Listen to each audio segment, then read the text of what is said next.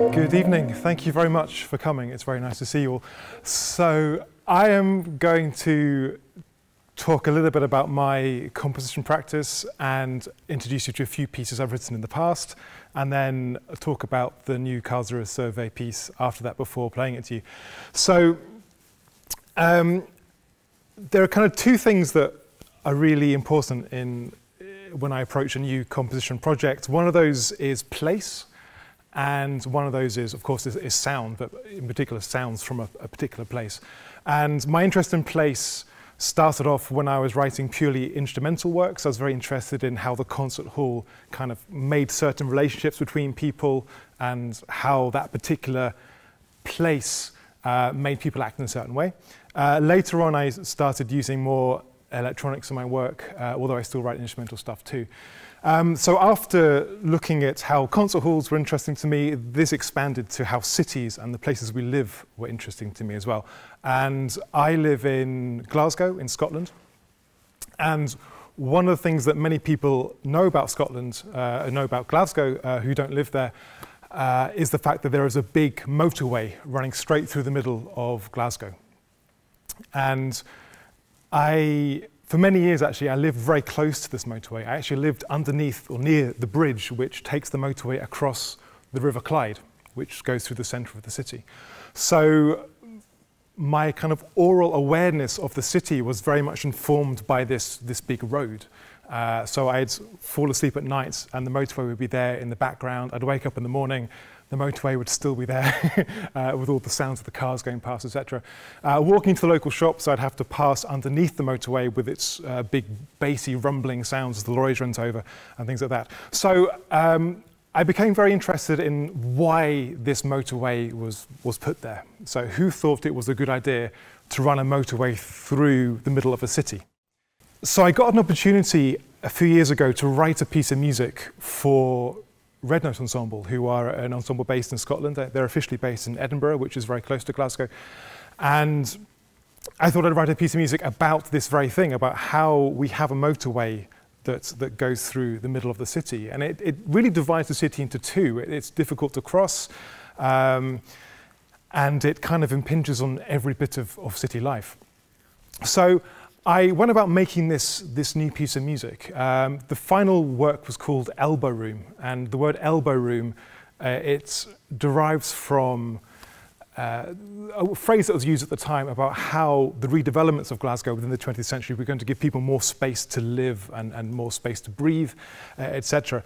So there are kind of three strands I took when I was writing this piece of music. The first was a kind of psychogeographic approach, which basically involves thinking about how the city makes you feel. And one way to to kind of uh, work on this strand is by taking very, very long extended walks, kind of aimless walks through the city. And this is something I did quite a lot in the run up to writing this, this piece of music. Uh, the second approach I took was to make lots of location recordings. So I'd take my sound recording equipment on these long walks. I would also record all over the place uh, within the city. Um, I record on every time I took a, a, bus or a train, I'd make a recording of, of the conversations I heard around me uh, and things like that. Um, and the, the third kind of strand of, uh, of interest I took was to do lots of research. So lots of archival research, lots of library research. Um, and eventually all these strands started to kind of pull together and weave together into a piece of music. Um, one thing I found was that the archival research uh, and looking in, uh, for example, the, the old plans for Glasgow and reading what the architects wanted to create in Glasgow, uh, I started to hear how these developments were sounding in the city in the present day. So you could kind of hear in certain parts of the city sounds that related directly to the plans that were made in the middle of the 20th century. So um, I should say that this, this piece that I ended up creating was scored for an instrumental ensemble and for video. And the the video was made from two archival films I'd found uh, during my research. Um, both of them were created by the local town council to try and persuade Glaswegians that all the redevelopments in the city were going to be worth their while. Um, because not only were they building a motorway, uh, the original plan was to knock down the entire city and to rebuild it from scratch. So in the 1940s, there was a man named Robert Bruce who thought that was a great idea, and there are some amazing uh, models of the new city. It's completely unrecognizable. You wouldn't recognize uh, the city at all uh, from looking at these models and these, and these maps and plans. So these films were made originally um, by the council to try and persuade Glaswegians that uh, the plans were going to be fantastic. And there's one film in particular called Glasgow 1980. And in Glasgow 1980, it was shot by um, a wonderful documentary photographer called Oscar Marzaroli. And it tells about how the 10 years of, of pain from 1970 to 1980 that Glaswegians will have will all be worth it in the end because their new city is going to be wonderful and sparkling, bright, and uh, full of health and, and, and wellness for everyone. Um, it probably doesn't need me to tell you that that didn't quite work out as the planners envisaged. And I think a lot of the, the things in the piece that I was interested in was how people's imagination is different from reality and how these, these plans change.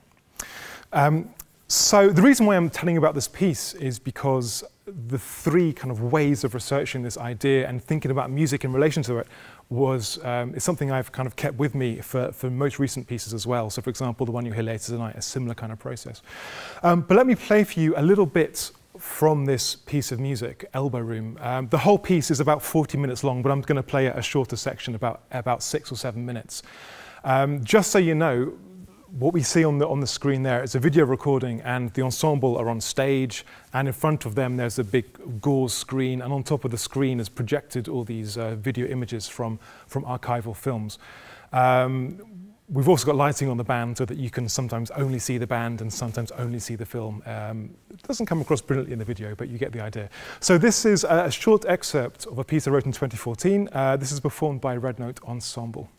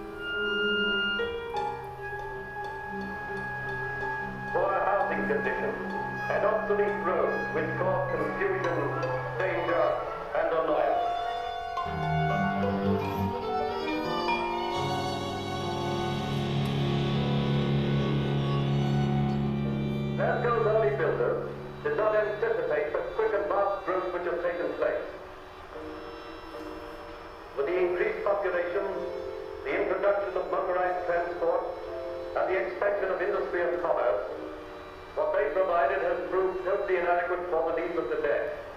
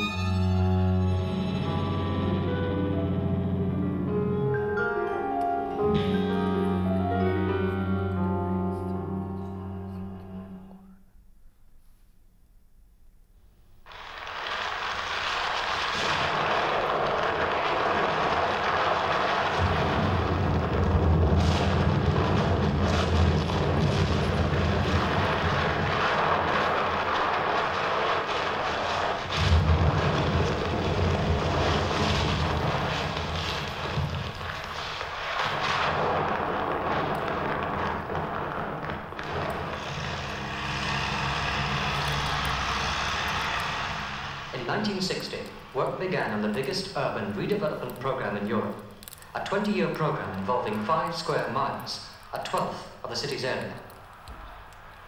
Between 1960 and 1970, 52,000 houses were demolished in Glasgow.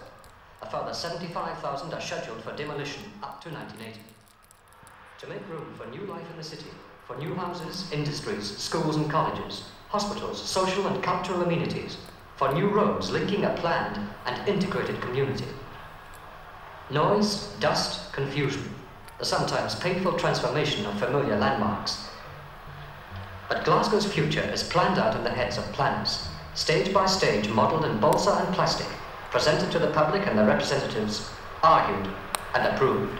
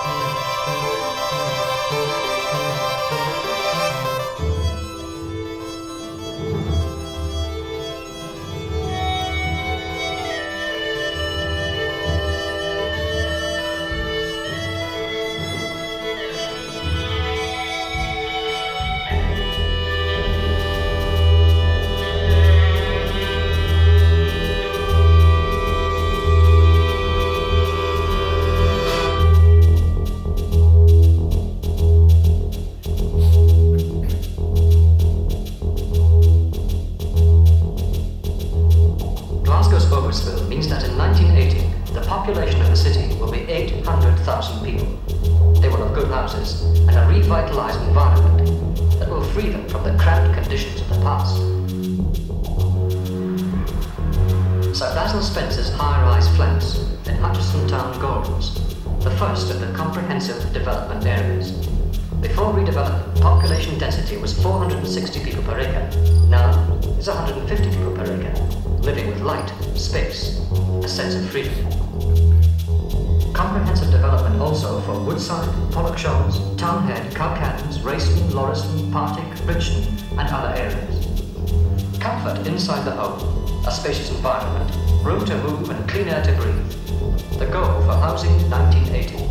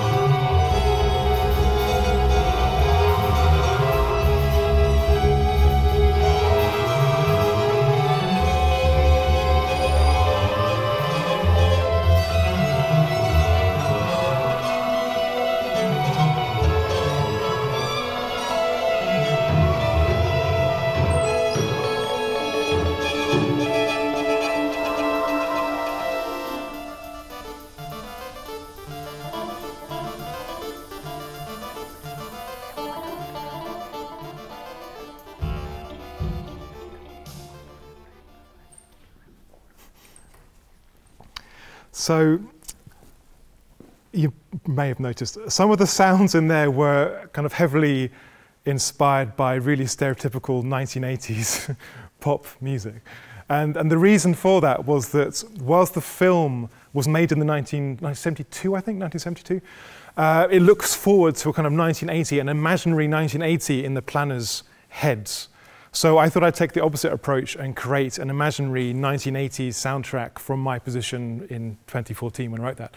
Now, I, even though I was born in the 1980s, I can't remember them because I was too young. So this it was a kind of a, a recreation of what I imagined the sounds uh, from that time would have been like. And there was one moment in the score I wrote an instruction to the, the keyboard player who's about the same age as me and I described the sound I wanted as something which came from a, a children's television program from when we were younger. And he crea created that sound perfectly on the keyboard. This first thing he played me was absolutely perfect. But then a few months later, after we'd done all these performances, I found some of that TV program on YouTube, and the music was not at all what we remembered. It was completely different. And we'd have this kind of collective misremembering of what had happened uh, in the 1980s. So uh, I think that there are a few things from this piece which I took forward into more, more recent pieces. Uh, firstly, is that thing about reality and, and fantasy and, and the real and the imagined. I think these things are quite important in my composition practice generally. Um, there are some more kind of um, some, some, other kind of themes which began to emerge as well. Firstly, of course, this idea of uh, sustainability and environmental sustainability, as we sometimes call it. So the fact that a motorway was built in, in the 1970s in Glasgow meant, of course, that the car became king and we kind of entered into an era of entrenched petroculture. So we were, you know, the, the, as you probably saw from the film, the many people lived in the centre of Glasgow were moved to the outskirts of Glasgow, which required them to commute more to go to work, and of course they had to take a car because the trains were weren't running there, uh, etc. So I was interested in how that someone's ideas, because these ideas originated in the 1940s, so how someone's idea back then affects our life today, uh, and particularly the way that we, uh, we kind of power our lives with oil or, or with electricity or, or whatever. Um, so that's what, one kind of thing which was, was quite an important uh, change for me in the way I approached uh, pieces of music. Um, the other thing which was very informative about making this piece was just the idea of making something strange through writing a piece of music about it. Um, we performed this piece in Glasgow elsewhere, but in, in Glasgow mainly, and um, it was really intriguing to me how making a piece of music about something so familiar made people think about it in a different kind of way. Uh, I think one of my happiest moments from this whole project was after our last performance in Glasgow, going to the bar afterwards and, and seeing two people I didn't know talk about the, how cities are planned and how we move around a city. And I thought that was uh, very empowering that a piece of music could do that. Um, so the idea of making something strange in order for us to think about it in a different way became quite central to a lot of what, what I do as a composer. So the second piece, uh, oh, I should show you this. By the way, this is, this is the old piece. Uh, this is two stills from the video. This was from the original film in 1980, uh, the 1980 film made in 1972, uh, and that explains how the work is kind of almost complete. We've just got to finish this bit of motorway. And this is how it still looks today. This is what I added at the end of our piece, which is, of course, exactly the same. And it's the idea of this, uh, this utopian dream has, has been incomplete. And uh, I thought that was quite telling about the city. So anyway, uh, the, the, the, second piece I want to talk to you about, uh, this is a collaborative project with a visual artist, uh, Hannah Imlach, who makes sculpture. And we made this piece of work in Banff in Canada. And we were there on a residency discussing uh, petroculture with a lot of very interesting artists and academics. And I suppose you go to these things taking a lot of baggage of your homeland with you, because whilst everyone else was there making work about oil, um, we were making work about wind, because in Scotland we have a lot of wind, and a lot of our renewable energy projects are powered by wind, as you would expect, a lot of offshore and onshore um, in Scotland. So even though we made this project um, about, well, in Banff, it was kind of actually about uh, a place in Scotland. I should say briefly that this is the reason why it's called Aeolian Survey Sketch is because this is still officially a proposal for work that we haven't actually properly finished yet. This is a, this is a, 3D rendering of what a sculptural object could look like, and the sound I'm going to play you is a kind of uh, a mock-up of what this, this object will make, and I'll explain more about that in a second. So, as I said, this work is actually inspired by, by another place in Scotland called the Isle of Eigg, E-I-G-G, which is just off the west coast of Scotland. And it's, a, it's quite a small place. It's a very, very beautiful island. It's a very small population of about 100 people who live there. And the remarkable thing about the Isle of Eigg is that in the late 1990s, the inhabitants bought the island themselves from the landowner who had previously owned it. Now, before they were able to have this community buyout, the, all their power was provided by diesel generators, very, very noisy, very, very polluting, etc. And the community buyout enabled them to install a brand new uh, renewable energy system on their island. So, for example, they have uh, wind turbines, they have hydroelectric power, uh, and they also have um, solar panels as well. Uh, one of the things which uh, was intriguing to us about this place is that um, firstly, of course, by having their own energy system, it gives them a, a, kind of a moral sense of the energy they use. It gives them a lot of uh, information, about, and they're very, very conscious about the amount of energy they use. For example, power is rationed upon, on the island. Uh, you can't, for example, run a dishwasher at the same time as doing a television or something because there's not enough power. So the inhabitants are very, very aware uh, just about how much they're using and also how much the island is generating because it was fascinating to find out that um, on the Isle of Eigg, if it's been raining, if you can hear the rain hitting your roof uh, continuously, you know that the weir at the top of the hill is going to be full, and therefore you're going to have more power because the hydroelectric will go, go into overdrive. And you know that you can maybe do some more washing that day because there's going to be more electricity available to you. And this relationship between kind of energy usage and sound uh, was really intriguing to us. So we came up with this. And this is, this is very simply an aeolian harp, which uh, I'm sure many of you have seen before. It's essentially a harp that's played by the wind. And whereas a lot of music and a lot of sounds that are created with aeolian harps tend to, to be quite soft, uh, I'm kind of uh, generalizing here slightly, of course, but uh, the, the sound is often uh, quiet, a bit like a wind chime almost, kind of I wanted to do the opposite of that. I wanted to create something which would uh, kind of show the potential of this renewable energy source. Um, so therefore, you'll hear in the piece there's a lot of kind of distorted sounds, almost like an electric guitar-like sounds, which are caused by uh, this aeolian harp kind of setup.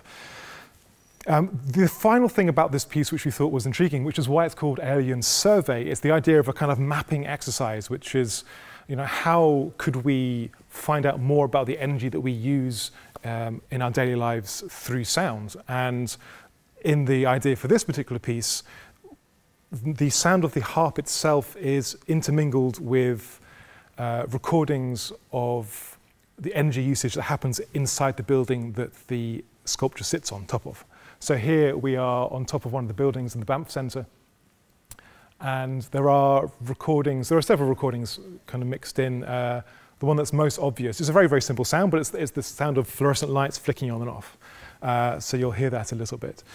Um, so yeah, so in a way, it's a kind of uh, a sculpture that talks about the creation and the consumption of, of electricity through sound. Uh, I'll just play you a little bit of this now. This is about six minutes or so long.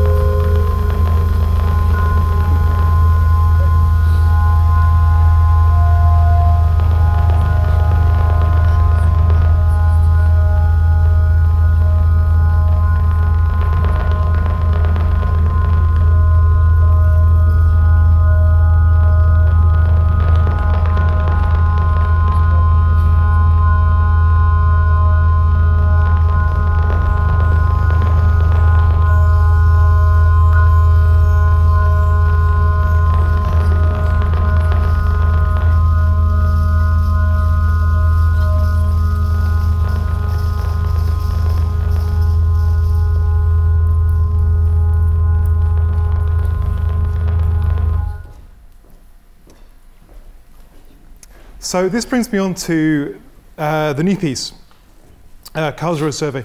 Um,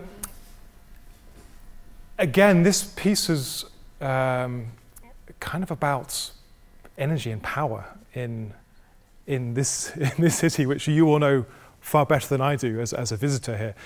Um, so as you know, this was created for the My Cities, My Sounds app. So it was uh, intended to be, uh, I should say there are seven small pieces within this larger work, and each was meant to be heard in a specific place.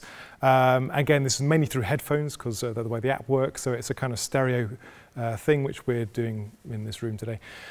Um, each work is about a particular location, and I used the same kind of techniques I did with Elbow Room. So this was visiting the places, doing a lot of walking around Karlsruhe, and uh, doing a lot of kind of research as well.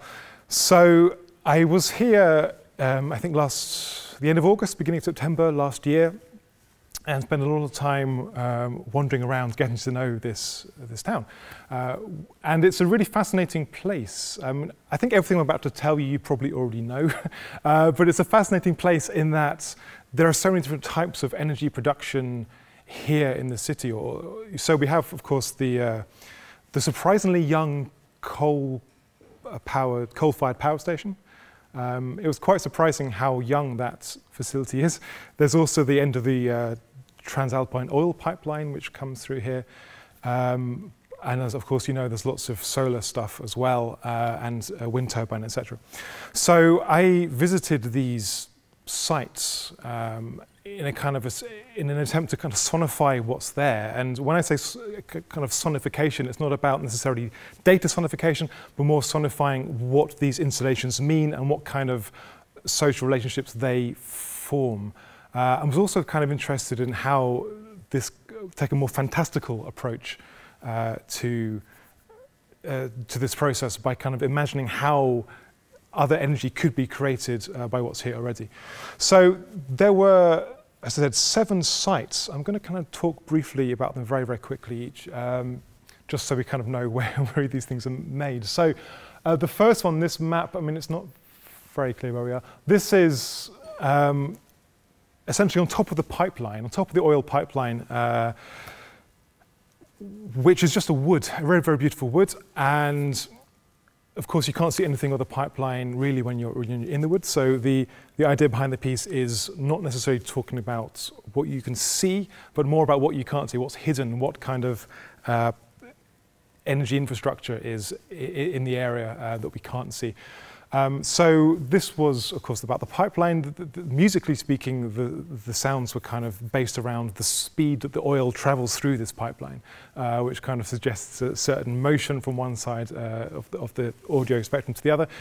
Um, also, the kind of materials we hear are all based around plastic, um, of course, with its relationship to, to crude oil, etc. So that kind of um, suggests the material, and of course, the material of the pipe itself, uh, are made of steel, so there's a kind of metallic sound as well. So, you know, the infrastructure we can't see kind of inspires the, the sound that we can hear.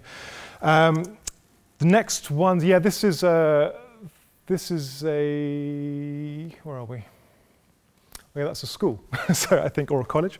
Uh, anyway, there's, there's solar insulation on the roof. Uh, of course, um, it's all very well integrated into the city, and of course, this is very pragmatic, but it means we can't necessarily see this infrastructure on our day-to-day lives. So um, there's a piece of music um, based around solar panels. I'll talk more about that in a second because there are a few of these installations. So this one here is in the in the park near the zoo. Um, I was astonished by the number of cyclists here. And this, isn't, this is probably not at all surprising to you.